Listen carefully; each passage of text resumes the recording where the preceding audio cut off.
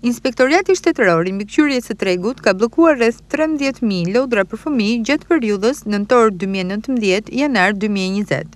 Por, sa të kujdesshëm janë prindërit në përzgjedhjen e tyre? Kur blini lodra për fëmijë, i kontrolloni? Jo, nuk i kontrolloj. Lodrat për fëmijë tregtohen në pika të ndryshme, duke nisur nga ambulantët, deri tek firma të njohura në mbarë botën. Për mikrofonin tonë, një qytetare shprehet se kontrolli i këtyre produkteve është i rëndësishëm pasi lidhet në mënyrë të drejtpërdrejtë me shëndetin e vogëlushve.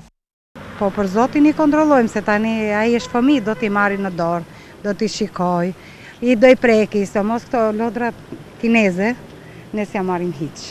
Ku i blini zakonisht lodrat? Ne i marrim nëpër dyqane, nëpër firma drejt.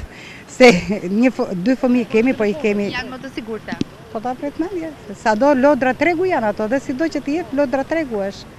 Edhe janë të kontrolluara dhe s'janë të kontrolluara.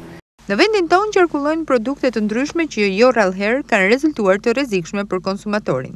Kategoria e lodrave për fëmijë është nga më problematiket për shkak të përmbajtjes të nivelit tepër të lartë të substancave toksike, duke u shndërruar në një rrezik serioz për jetën e fëmijëve të moshës nga zero deri në tre vjeç.